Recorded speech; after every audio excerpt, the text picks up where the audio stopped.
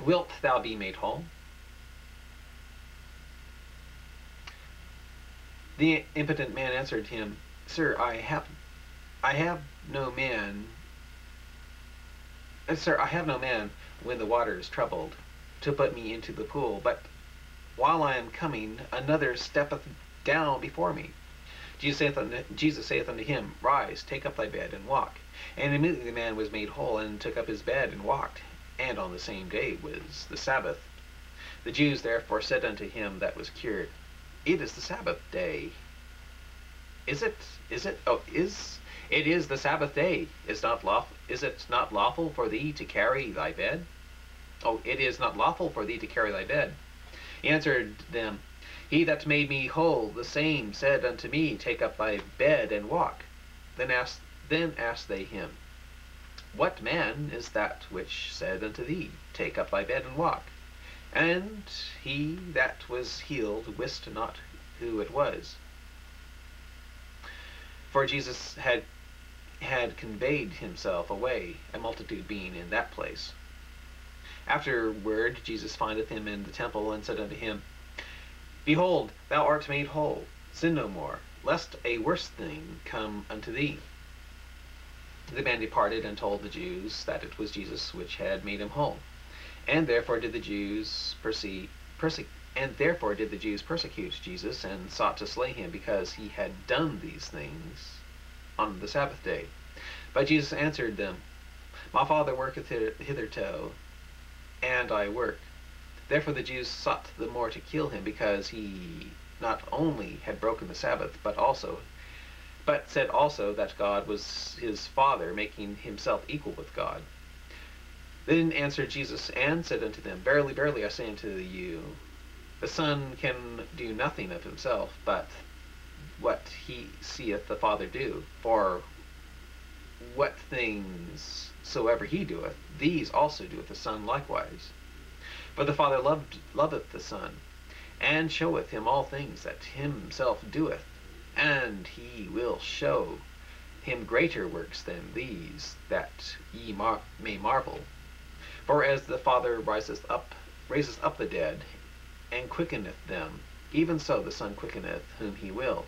For the Father judgeth no man, but hath committed all judgment unto the Son, that all men should honor the Son, even as they honor the Father.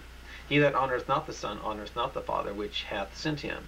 Verily, verily, I say unto you, he that heareth my word, and believeth on him that sent me, hath everlasting life, and shall not come into condemnation, but is passed from death into life. Verily, verily, I say unto you, the hour is coming, and now is, when the dead shall hear the voice of the Son of God, and they that hear shall live. For as the Father hath life in him, and for, for as the Father hath life in himself, so hath he given to the Son to have life in himself, and hath given him and hath given him authority to execute judgment also, because he is the Son of Man.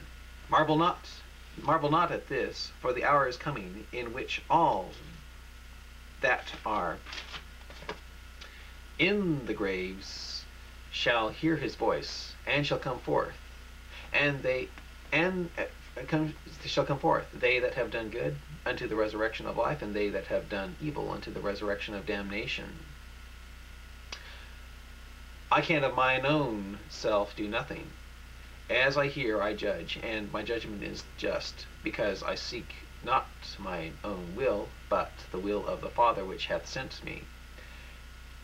If I bear witness of myself, my witness is not true. There is another that beareth witness of me, and I know that the witness which he witness, witnesseth of me is true. He sent unto John, and he bare witness unto the truth. But I receive not testimony from men. But these things that I say, that ye might be saved. He was a burning and a shining light and ye were willing for a, for a season to rejoice in his light. But I have a greater witness than that, John, that of John, for the works which the Father hath given me to finish, the same works that I do, bear witness of me, that the Father hath sent me. And the Father himself, which hath sent me, hath borne witness of me. Ye have neither heard his voice at any time, nor seen his shape. And ye that have not his word abiding in you, for him for whom he hath sent, ye him ye believe not. Search the scriptures, for in them that for in them ye think ye have eternal life, and they are they which testify of me. And ye will not come to me that ye might have life. I receive not honor from men, but I know you, that ye have not the love of God in you. I am come in my Father's name, and ye receive me not. If another shall come in his own name, him ye will receive. How can ye believe which receiveth honor one of another, and seek not the honor that cometh from God only? Do not think that I will accuse you to the Father. There is there is one that accuseth you, even Moses, even Moses, in whom ye trust.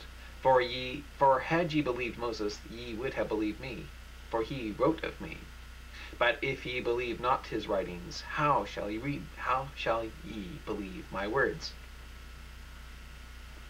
John chapter 6. After these things, Jesus went.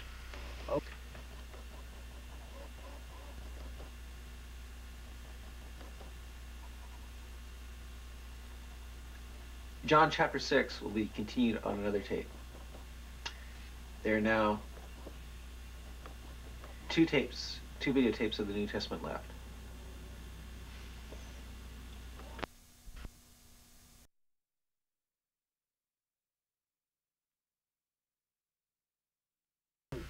That every one of them may take a little. One of his disciples, Andrew, Simon's brother, Simon Peter's brother, saith unto him, There is a lad here which hath five barley, barley loaves and two small fishes, but what are they among so many? And Jesus said, Make the man sit down. Now there was much, now there was much grass in the place. So the man sat so the man sat down, in number about five thousand. And Jesus took the loaves, and when he had given thanks, he disputed he distributed he distributed to the, to the disciples, and his disciples to them that were